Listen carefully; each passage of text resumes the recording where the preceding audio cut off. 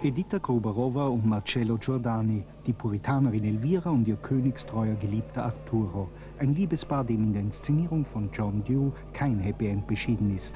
Er erzählt Bellinis mitreißende und virtuose Oper nicht als Historienschinken, sondern in modernen Bildern, vorwiegend statisch und mit raffinierter Lichtregie. Maestro Domingo glaubt, dass die Inszenierung jungen Leuten gefallen wird. Sie erinnert ihn an utopische Filme wie Blade Runner und Krieg der Sterne. Die Farben, die Kostüme, alles ist durchgestylt.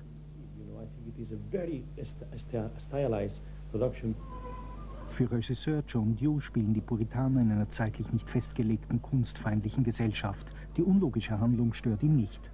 Grundsätzlich ist Oper äh, etwas, was nicht mit äh, Logik im Sinne vom, vom Wort Logik zu tun hat. Das ist eine andere Logik, das ist eine Logik der Emotionen.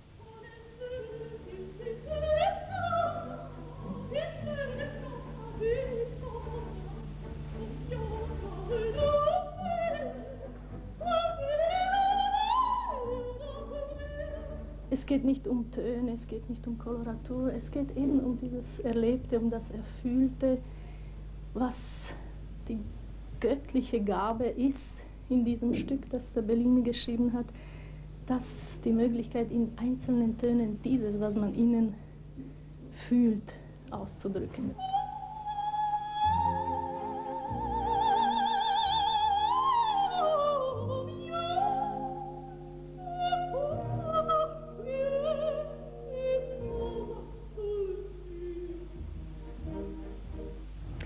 Die